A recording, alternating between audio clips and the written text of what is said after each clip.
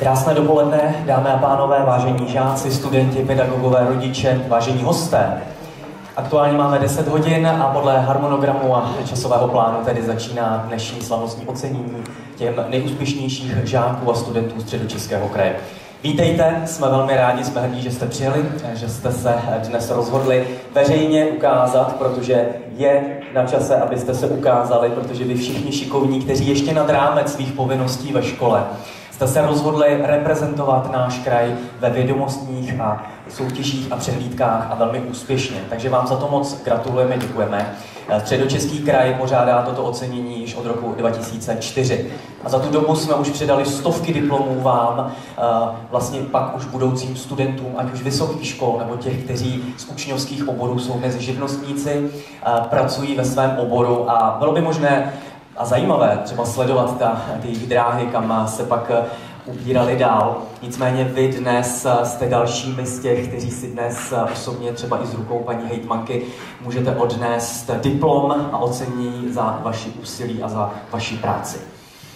Bohužel jsme dnes trošičku v menším počtu, protože na rozdíl od těch minulých let tady s námi nejsou sportovci. Je tady široké spektrum vás, kteří jste soutěžili, ať už v cizích jazycích, v zeměpisné olympiádě, matematické olympiádě. Samostatnou disciplínou je matematický klokan, soutěž, která soudě už podle názvu. Má svoji historii v 80. letech, kdy vznikla v Austrálii, první ročník byl pak ve Francii a dnes už je to celosvětová záležitost eh, pro všechny ty, kteří mají rádi matematiku. Také jsou tady učňovské obory, odborné znalosti a přátelé, vy všichni, kteří jste na učňáku, je skvělé, že Česko má tolik úspěšných vysokoškoláků ale vy, kteří jste na učňovských oborech a budete jednou úspěšným, věřím, řemeslníkem, tak vám držím palce, protože najít dneska dobrého řemeslníka není problém. Problém je, znám to z vlastní zkušenosti, že na něj čekáte 8 měsíců. A opravdu práce rukama je potřeba. Takže vám taky držím palce, abyste se opravdu ševče držte svého kopita. No a v neposlední řadě oceníme také Zušky, tedy základní umělecké školy, protože tady máme úžasné tanečníky, zpěváky a nebo také hráče na dechové nástroje. Kromě těch sportovců, kteří byli také velmi úspěšní, ale díky covidové době ještě neproběhla všechna finále, takže ty uvidíme zase za rok. No a když už jsme u toho covidu a když už jsme u té doby, která v posledních měsících a letech byla opravdu velmi divoká, počínaje tím covidovým obdobím a bohužel žijeme ve světě války, která se dotýká každého z nás. Žijeme ve světě různých dezinformací v médiích, na internetu, velmi chytrých sociálních sítích. Přátelé, já myslím, že velké poděkování patří všem učitelům, pedagogům, ředitelům. Jestli tady jste, nestejte se, prosím, postaňte, protože si všichni zasloužíte velký potlesk. A myslím to vážně. Kde jste, prosím? Opravdu. Ta vaše práce je nesmírně náročná, je to poslání, já vím. Ale zejména v posledních měsících a letech jste si prošli obrovskou zkouškou a opravdu patří váš dík. A mimo jiné, jestli jste si teď dobře všimli, vám zatleskala magistra Petra Pecková, hejtmanka středočeského kraje. Klidně můžete za mnou. Dobrý den. Starosta města Říčany, pan David Michalička. A je tu s námi také magistr Milan Vácha, radní pro oblast vzdělávání a sportu. Krásný dobrý den. Paní Hýmanko, jsem moc rád, že jste uh, cože přijala pozvání. Vy jste se prostě přijala podívat, zkontrolovat na tyhle ty naše šikovní žáky a studenty. Poprosím vás o pár sovky. Hezké ráno. Já jsem to k vám neměla do Říčan daleko, protože, jak víte, bydlím nedaleko v 9 eh, km vzdálených Míchovicích. Máme obrovskou školu, která má 880 dětí. A ty děti jsou strašně šikovné, jsou určitě šikovné, takže olympiádu Eh, se přihlašují, do blokana se přihlašují, ale myslím, že tady nikdo z nich nesedí mezi vámi, protože ty nejšikovnější a ty nejlepší jste tady vy. Eh, vy jste opravdu udělali něco navíc. Vás se v těch celostátních kolech opravdu významně umístilo 190 ze středu Českého kraje a, a opravdu klobouk dolů. Já když jsem podepisovala, trvalo mi to dlouho, protože těch podpisů a těch diplomů, které dostanete, byl asi takovýhle balík. Tak když jsem podepisovala ty jednotlivé diplomy pro vás a viděla jsem, v čem všem vy jste soutěžili, to je obdivuhodné. Myslím si, že vy jste opravdu budoucnost našeho národa v tom nejlepším slova smyslu. Díky vám určitě bude postaráno o životní prostředí. Díky vám bude postaráno o medicínu, jak jsem viděla, o matematiku, o fyziku, o jazyky, o nádherné umění, ale i o řemesla. Takže eh, já bych chtěla říct, že to řemeslo, jak jste o tom hovořil, tak na truhláře čekám do srpna. Volala jsem mu v prosinci. A opravdu není. A komíník jezdí do celé naší ulice až z Moravy a my ho nepustíme. A každý rok dopředu, o rok dopředu si ho rezervujeme. A tady jste i vy, kteří zvítězili vlastně v těchto řemeslech. Takže klobouk dolů, opravdu zapojte se do té praxe. Já si myslím, že uh, konečně se ukáže, že máte zlaté české ručičky. A vy, kteří jste krásně hráli na všechny různé hudební nástroje ve všech možných soutěžích, tak na vás se těším třeba na některé akci, které, kterou bude pořádat středočeský kraj a určitě tam skvěle zahrajete. A jste úžasní. Prosím, jděte tím životem s tímhle nadšením dál, protože opravdu pak daleko taky dojdete. Moc vám držím palce, jste skvělí a děkuji i všem uh, učitelům a rodičům, kteří vás podporovali a kteří uh, vás těmi soutěžemi vedli. A ještě možná jedna taková drobná věc. Na tom TikToku jsou takový strašně pitomní různý výzvy, jako že pitlíky uh, na hlavu a uduste se, nebo, nebo výzva, jako kdo se vzájemně uškrtí. Prosím vás, dávejte vy tam nějaký výzvy, jako klokán matematický, kam dál doskočím, nebo jak líp zahraju uh, nějakýho Chopina, jo? Dávejte tam něco takového chytrého, uvidíte, že to určitě bude mít úspěch. Říká paní Edmundka z Českého kraje, Pecková.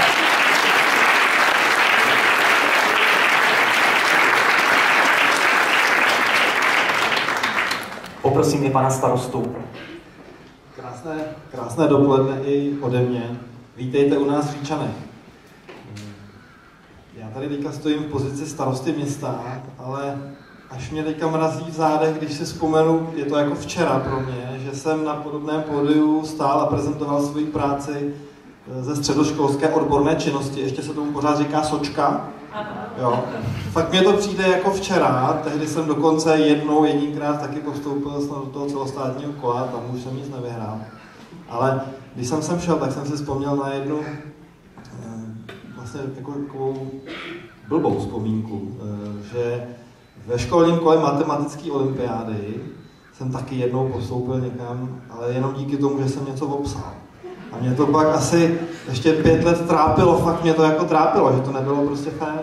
Takže teďka jsem se na to vzpomněl, už je to naštěstí hodně let a už takové věci nedělám, ale tehdy jsem prostě jeden příklad od toho souseda, protože jsem nevěděl, jak to spočítat, no a postoupil jsem sice a tam už jsem to zase nespočítal.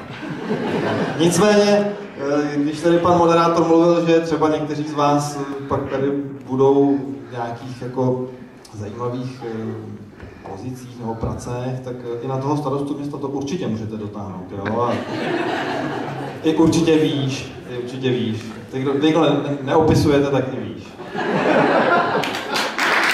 taky opisovala.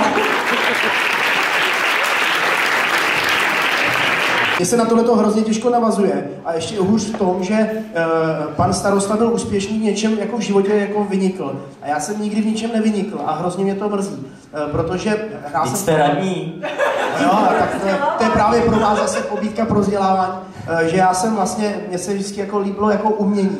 A já hrozně tím trpím, protože já to říkám často, já jsem, já jsem vyrůstal v hlavě a e, tam v osmý třídě nebyl roky předtím a roky potom nikdo, kdo dostal trojku z výtvarné výchovy. E, a to jsem byl já. A opravdu, ale jako, jako po zásluze, opravdu, kdybyste viděli, co já namaluju, to nebylo, že by se na mě někdo zase. To fakt objektivně je fakt hruza. A tohle to mě třeba mrzí, takže vždycky koukám za radostí na ty, co to umějí. A stejně tak je to u řemeslníků. Já hrozně rád jako koukám na někomu, komu jde ta práce od ruky. To je opravdu něco tak fantastického. A trošku beru jako od Pána Boha, že, že mi tohle to udělal, tak to mě teda naštval trochu. No. Takže, ale, takže, takže děkuji vám, že vám to jde ve všech směrech a budu vám držet palce a těším se, že si ten dnešek užijeme.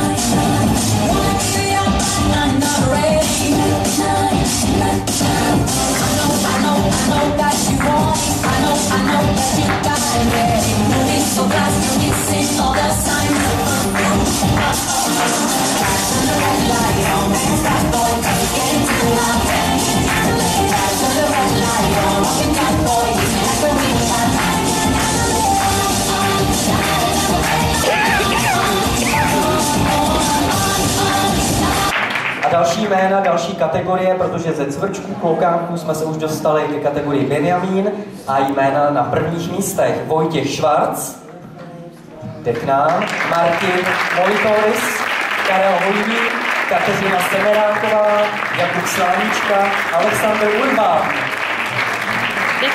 Jakub, základní škola, mateřská škola Komenského Nové Strašecí a Aleksandr Urban, základní a mateřská škola Suhdol. Tak, no, prosím, nahlašte svá jména, aby paní hejtmanka i pana radní mohli předat diplomy.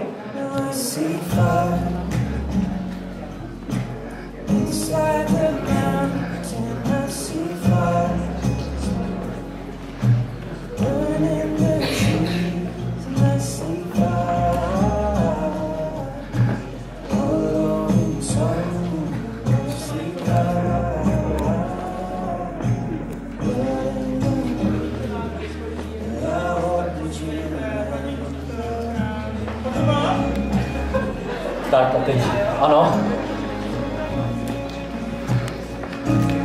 Děkujeme. Kateřino, pojď za mnou. Kateřino.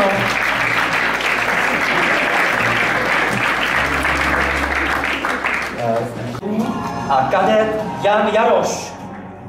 Jestli je tu s námi, je tu s námi. Základní škola, mateřská škola, Sudol.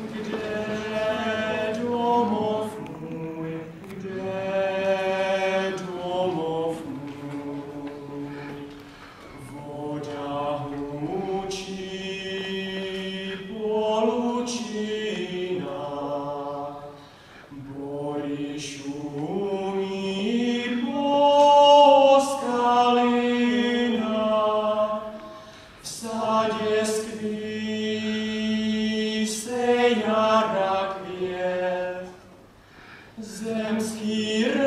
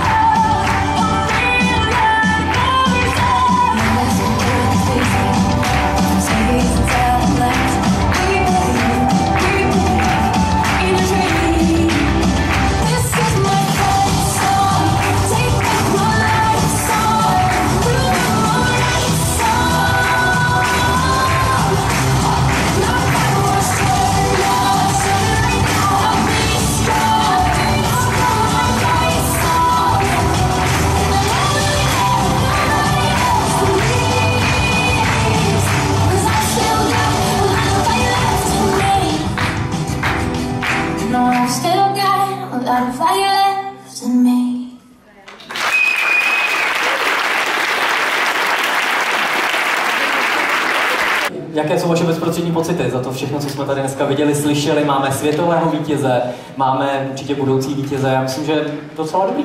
Ne, docela dobrý, to je výborný, ano. skvělý. Já myslím, že to je jako pro mě neuvěřitelný, že v, těchto, těch, eh, v, těch, v těchto letech dokážete eh, to, co jste dokázali. Eh, v těch vědomostních je to horší, tam se to nemůže prezentovat tak, tak na oko, ale já bych možná i, i, k těm, i k těm, zejména k těm, kteří dělají pohybové aktivity, kromě poděkování a poblahopřání bych vás, zejména ty mladší, chtěl požádat o jednu věc tak jak jdete životem, tak kolem 13., 14., 15. roku přichází období uh, puberty a je to taková divočina, kdy spousta mladých lidí opouští svoje sporty, nedává jim to smysl třeba i dočasně. Vás bych chtěl zejména poprosit, abyste vydrželi, abyste toto těžké období přečkali. Ta vaše aktivita, ten váš sport je vaší integrální součástí, se to vy, zkuste to vydržet a uvidíte, že, že, že potom kolem toho 18. 19. roku vám to zase zpětně začne eh, dávat, eh, dávat smysl a budete rádi, že jste to tehdy nevzdali. Takže až to na vás přijde, zkuste na mě vzpomenout a zkuste se zabejčit, vydržet, protože to stojí za to. Děkuju. Děkujeme.